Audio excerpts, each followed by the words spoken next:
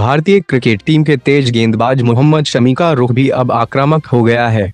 उन्होंने पत्नी हसीन जहाँ की ओर से लगाए गए आरोपों का जवाब देने के लिए कानूनी लड़ाई लड़ने का फैसला किया है। पत्नी की ओर से लगाए गए दहेज उत्पीड़न के आरोप का जवाब देते हुए कहा कि हसीन ने साल भर में मेरे क्रेडिट कार्ड से डेढ़ करोड़ रुपए की शॉपिंग की है।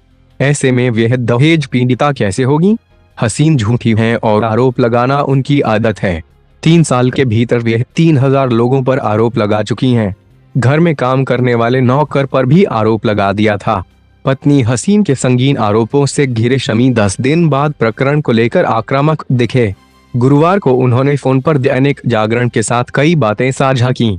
कहा कि पत्नी के कहने पर कोलकाता में उनके नाम मकान लेकर दिया। दो कार उनके पास है।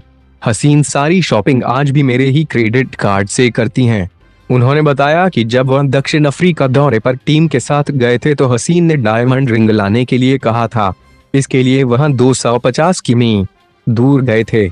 उसके बाद लौटते समय दुबई से ज्वेलरी लाने की जिद की। न लाने पर हसीन ने घर में झमेला करने की चेतावनी दी थी। मेरे मोबाइल की व्हाट्सएप चैटिंग इसका सबूत है। बताया कि हसीन लालची और शकी महिला है। परिवार और रिश्तेदारों से बात करो तो भी शक करती थी। जिसने दुष्कर्म किया उसके घर दूसरे दिन ही वह कैसे चली गई?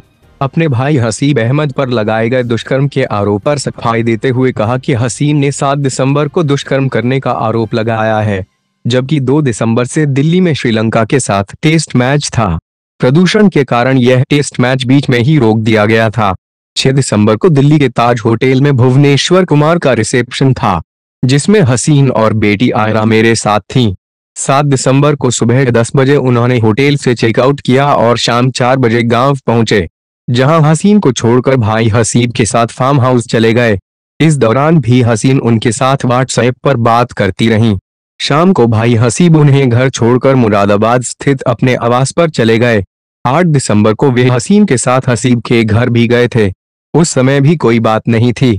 अगर सात दिसंबर को हसीम ने हसीन के साथ कोई गलत हरकत की थी तो उन्होंने किसी को बताया क्यों नहीं?